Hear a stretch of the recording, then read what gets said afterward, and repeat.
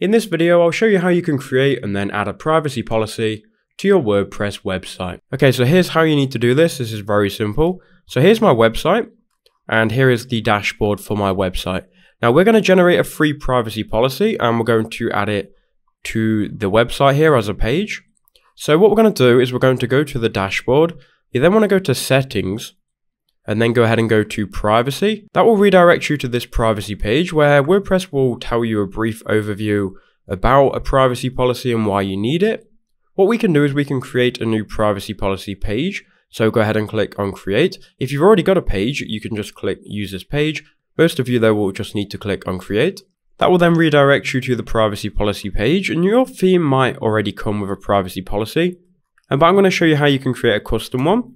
So we're going to delete that. Now to generate a free custom privacy policy, we're going to go to this website here called privacypolicygenerator.info. Or if you just search on Google for free privacy policy generator, you'll find loads. So you here you can enter in your company name. You can enter your website name. So I'm going to grab the link of my website as well as my website name. We can then click next.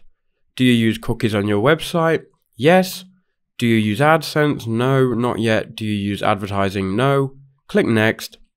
Choose the country, then enter your email address. Then you can click on generate my privacy policy. And there we go, we've now got our privacy policy. So we can now copy this text to the clipboard.